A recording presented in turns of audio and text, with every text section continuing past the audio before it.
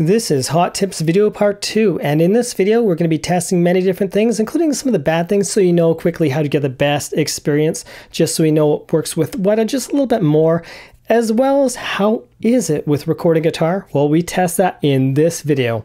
Now let's get started.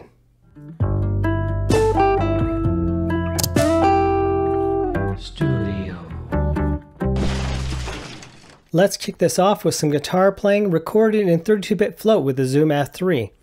It's possible, 48 volts phantom power at the right adapter. What you're hearing here is a guitar connected with uh, the Neutrik cable directly input into the Zoom F3.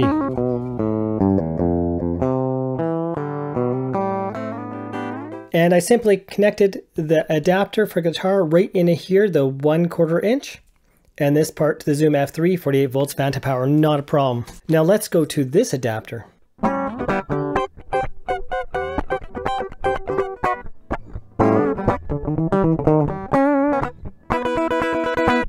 Thank you Music Planet and Campbell River for your assistance. So if you're looking for any musical instruments or tools for your audio, check out Music Planet in Campbell River on Vancouver Island.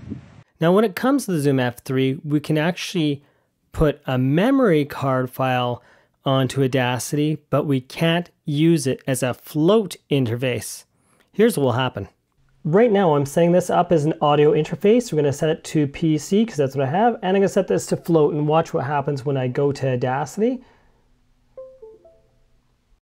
For some free programs like Audacity, we can at least USB transfer a file. So let's go to here and I'm to select that. We can see the files right here. And this allows me to at least take the actual file from the memory card and I can now edit.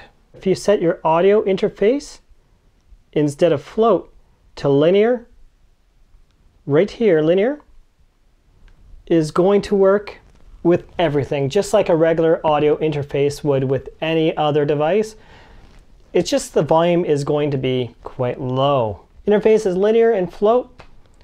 Good luck noticing the difference. You'll honestly be hard pressed to know the difference whatsoever. 32-bit float, you can lift the volume so it looks like it's clipping and it's not clipping.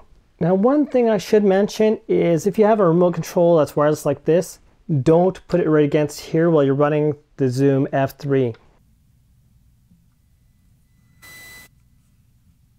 This is not shielded right here. But let's get to something a little different now. How to connect a mobile phone to line out. There are two ways to do this. Line out itself is the way that's going to allow clipping, but it's a very simple method to connect. And you got proper volume right out of the package. We've got a Saramonic connector of links below for this connector and use a regular stereo cable, not one of three lines, a regular stereo cable. Now I'm going to connect this part so for proper sound quality, we use line out. Your phone might work directly, but if you don't have open camera or the Shure MOTIV app, and your audio is going to either probably be hissy or not be work through microphone. Right now I'm using my mobile phone connected line out to my Zoom F3. How am I coming through? And I'm using my AT4040 from Audio Technica as my microphone. For connecting iPhone or any other method, you're going to need a proper lightning to USB Type-C. You'll have to find something hopefully certified by Apple or else it might not work. Now for Android, it is very, very simple. I simply get a USB cable to the phone. There's no special trick to this. It's now can be set up as an audio interface. So for PC Android, I'm going to choose as an audio interface use PC Mac for, I believe, Apple. It's going to be a tablet connection, I believe. So anyways, I can't choose 32-bit float. I have to choose linear for my phone. And before I press, actually, well, let's do it right now. Here we go. We have the Zoom F3 connected. Just a plain Jane type connection. And again, just like to PC, your volume is going to be low. You can barely see those lines of volume. So I'm just about ready to record. I got my microphone right here beside me. See if I can show that on camera. And I'm going to press record.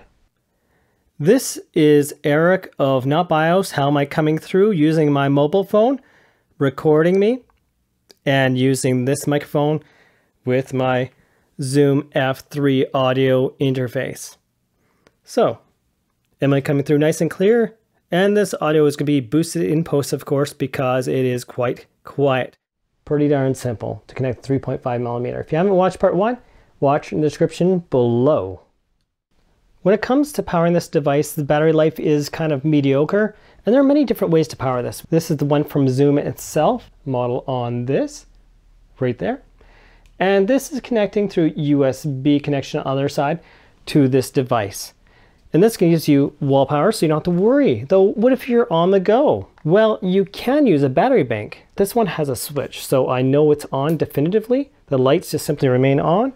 If I use a battery bank with this, I generally need to leave the light on or else I'll draw too little power that a battery bank will generally just turn off after a short period of time.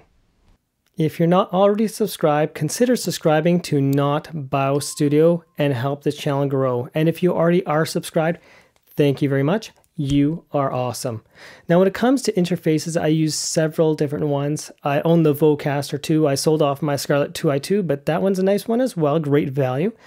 I also owned the AudioFuse Revision 2, but nowadays I really wouldn't recommend that the Zoom F3 is a far superior audio interface. Now, if you have any questions, leave it down below.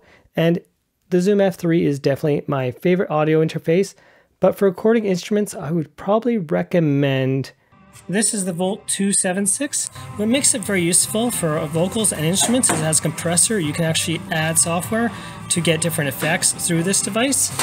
And we also have XLR to 1 quarter inch, which be modified to 1 8 inch if needed headphone jack right there and the volume for that. And it also has not just USB power, but also has 5 volt DC. The only thing I get to clip were microphones that themselves had a problem with the audio pressure, not actually clipping when doing 32-bit float. This is Eric of Not BIOS Studio. Thanks for watching and have yourselves a most wonderful day.